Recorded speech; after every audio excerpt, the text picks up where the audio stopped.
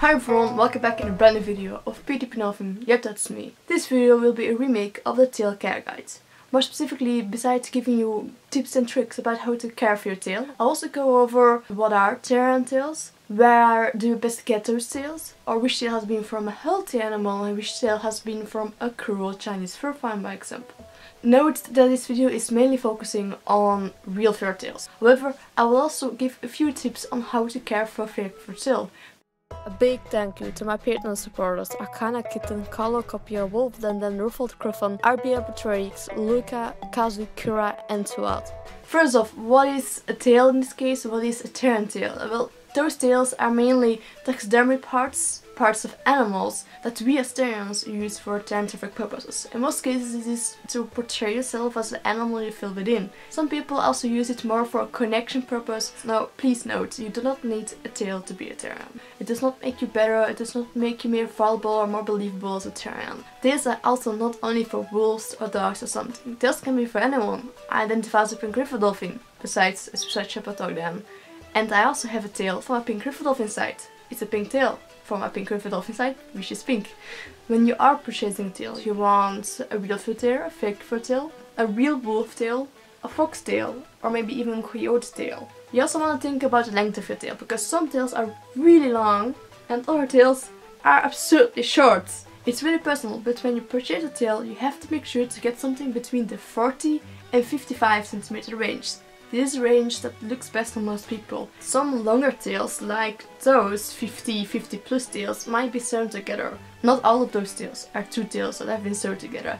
But be careful, you can mainly notice this when the tail in the middle has some kind of knick in them, like it's certainly thinner than the rest of the tail.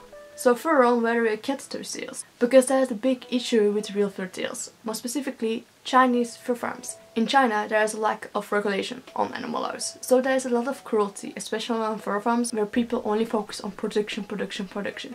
This means that animals do not get the care they need, they are in horrible conditions and they often die really painful deaths. So you have to make sure to check where you're buying from.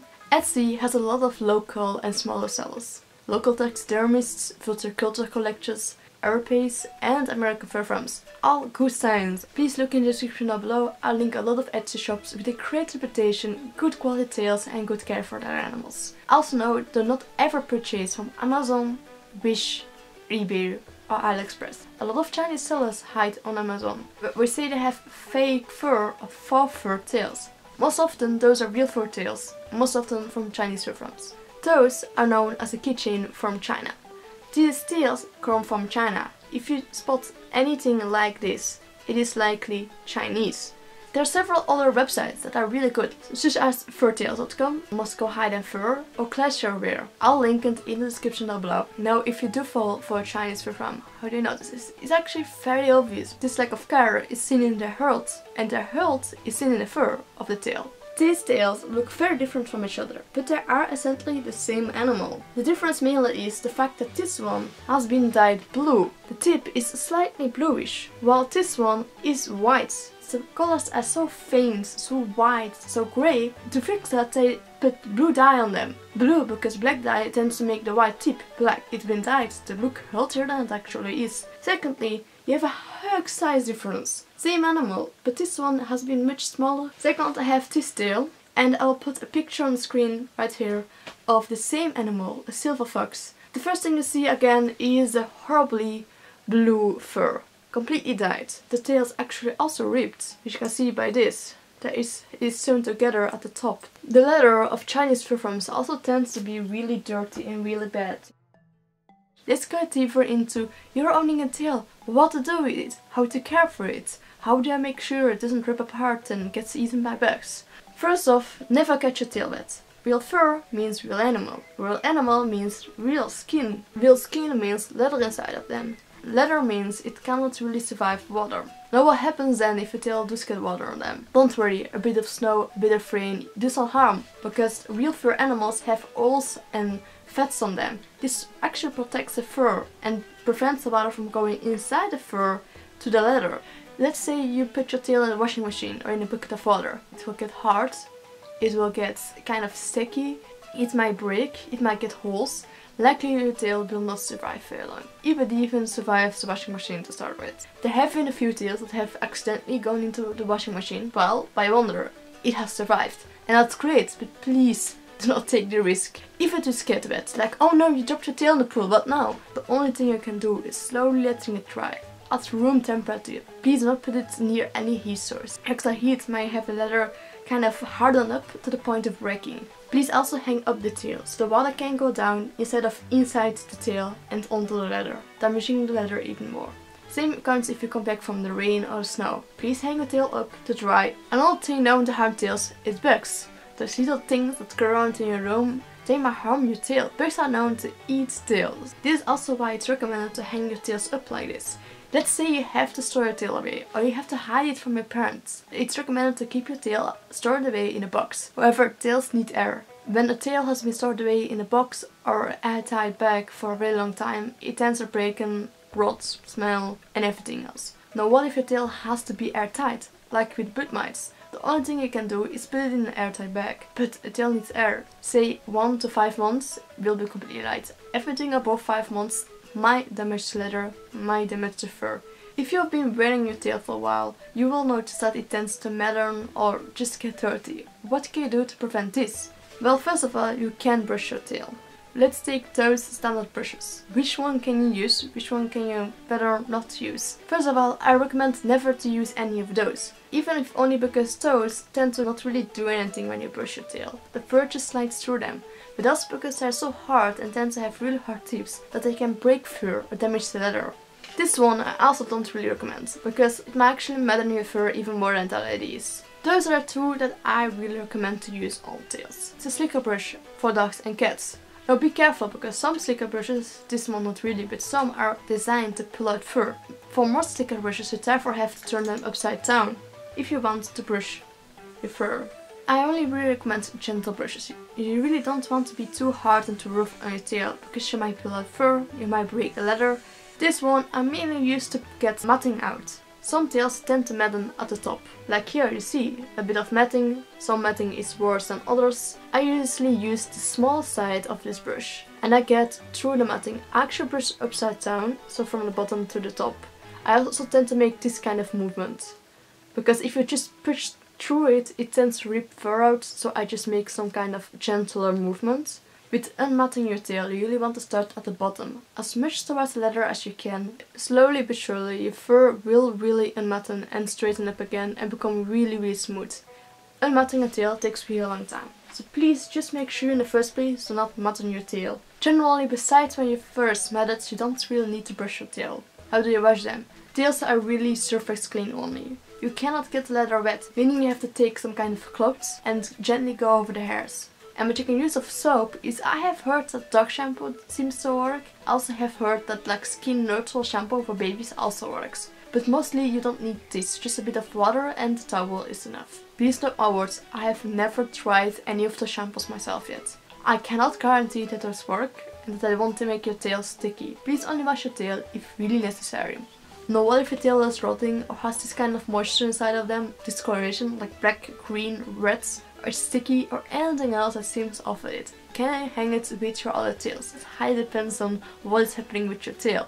In case it's just a bad tanning job like black or green discoloration, it usually does not transfer to other tails. In case it's a bug or some kind of issue with uh, rotting, actual rotting, it might actually transfer to your tails. A very frequently case seen is a fat issue, being from not being scraped well. The fat is actually scraped away, it's getting cleaned. Some taxidermists or cheaper, more mass-producing companies do not scrape their tails well, meaning fat is still inside of there. And that fat will eat the tail. This tail has a fat issue. This can be seen by really gross, sticky orange and yellow spots in the tail. Also over here you can see the really sticky orange discoloration.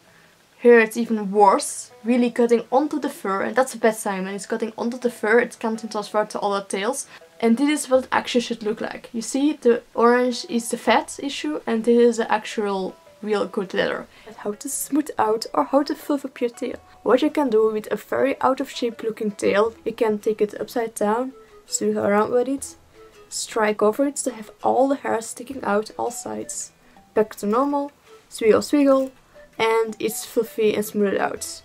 However, if your tail just comes out of a bag by example and this pedal is not working, that's normal. Your tail will have an odd shape and this will eventually restore itself. Just wait and have air flow through it, like by example by waiting or running around with it or even having a fan on it if you want to speed up the process. Eventually your tail will go back to its normal shape, smooth and fluffy.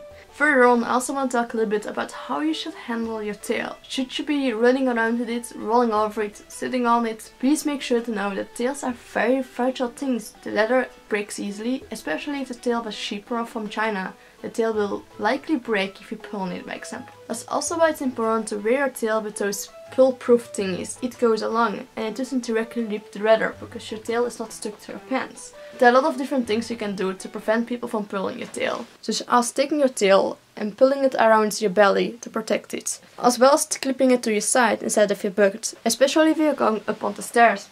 Generally sitting on them doesn't harm them, generally twisting them doesn't harm them, but I do discourage play fighting with your tail. I have a video clip over here that shows how a tail gets snapped apart.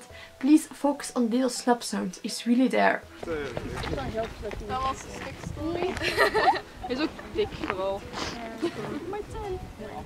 Now say, what if your tail is broken? What if it has ripped apart, breaking in half? Well, please go to the leather. You can go to the leather by going with your fingers through the fur. And you can open the leather like this. Once you open up the leather, you put it on your knee or something. You take a piece of clothing or piece of leather and you actually glue it in there. You glue both parts together because sewing a tail usually only makes holes in the leather. Just makes rip apart again. In some cases where the leather is just too thin and too small to be able to glue a piece of cloth inside the leather to connect both pieces back together, you have to sew or try to sew. Now what if you do have to sew? Please take a needle as small as thin as possible because this leather doesn't really take holes very well. You want to actually make a stitch that is just a little zigzag. And you best take one centimeter from the edge of the leather at each side. Now what if the keychain part of the tail breaks? I actually have two of the stairs I fixed myself. First of all, the most frequent seen issue is where this part of the keychain breaks off this part. I connected them again with a keychain ring. You can also use a bit of wire to connect them again. What also happens is that this tube comes loose from the fur. It's just glued there, really. You can just put new glue in the tube and put your tail back in the tube. If you don't want to do that, you can also use a comet, like here. Make a little hole in the tail leather, you put a comet in there and then your keychain on top of it. In case you do not have the place in the leather to use a comet, or the leather is ripped at the top, you can actually use a bit of leather. Put a leather strap and put a hole in the leather, put a pin through the leather and connect your kitchen to that. A little want to do is on fake fur tails. This is fake fur. Fake fur is plastic, even if it looks really soft. Plastic takes about 100, 200 to 1000 years to disappear instead of real fur, which disappears basically directly once it gets wet. Real fur tail basically only harms the one animal that has died for it, much like how and chickens die for food as well. That's why I personally prefer real fur tails over fake fur tails. However, I still own a bit of fake fur, so let me tell you a bit about how to care for your fake fur tail. First of all, if you want a fake fur tail, better do best those very easily. There isn't much you can do wrong with it. Just go to Etsy, some people make you custom tails, maybe even yarn tails, which is made out of wool. You can also go to Fussed Makers on Facebook or your local fur community. You can also make them yourself very easily. Okay, so you got one, then how do you care for it? Once again, you can brush them with a brush when you need to, when they're matting or when they're dirty, for example. Other than them, I don't recommend any other brushes than those, because in my experience, other brushes either don't work or just pull out the fur. I recommend taking it upside down again to prevent any pulling out that automatically happens because they're designed to pull out fur from animals like dogs and cats. Take your fur and brush. Unlike the real fur tails where I say to brush against hairs when you want the matting to get out, I really recommend to, with fake fur only go with the hairs. But Fake fur is actually really easy in use, you really can't do much wrong with it. You can wash in the washing machine with some soap you also use for your clothes. Just take detergent that is for sensitive clothes. Like I have a pink one, I put it over here. It's a good one. It does not stain, it does not smell, it does not stick. And you can also use bleach a lot more because plastic can endure bleach much better than real fur tails can. You can also use things like isopropyl alcohol. Please bear in mind however that there is a certain damage that cannot be undone, specifically heat damage. If you wash those things in really hot water, then plastic will melt And unlike with real tails, you don't want to hang up your fake fur, you want to lay it down, because hanging it up will stretch the fur, will stretch the backing. So with fake fur, you don't have to be as careful when you go out in the woods. If it gets dirty, you will likely get it clean again. And they don't really tend to break if you pull on them, they're a lot stronger. So yeah, that was it. Thank you for watching. I hope this video could help you. Please leave any other questions in the comment section down below. Poof, pretty.